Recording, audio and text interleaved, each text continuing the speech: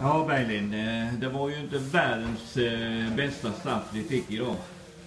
Eh, nej, det, det är för dåligt av oss tycker jag. Vi, vi är inte med i första perioden. Vi eh, missar eh, på fasta situationer kan man säga ju. Och eh, ger dem ett tre måls försprång. Jag kan köpa att ett mål, det, det är ett hockeymål, va? men det andra är, det är våra misstag. Eh, så det, ja, det blir tufft. Eh, tre måls uppför, uppförsbacke då efter första. Va? Och gör ändå 3-1 i andra och tycker vi har, har väl bud på ett till. Även om naturligtvis spelet böljar ju va? Och, och de har ju naturligtvis med chanser.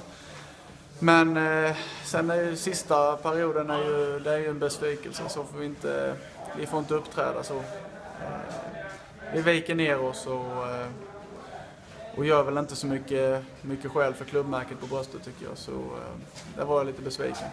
Men men, det, det är som sagt, vi, vi måste ju gå vidare. Va? Det vet jag inte hur resultaten är i de andra matcherna men eh, ja, vi får sikta på nästa match. Men eh, det måste till en uppryckning eh, av högre mått tycker jag. Ja, så kan det bli ibland. Jajamän, Tack ska du ha, Berglind. tack själv.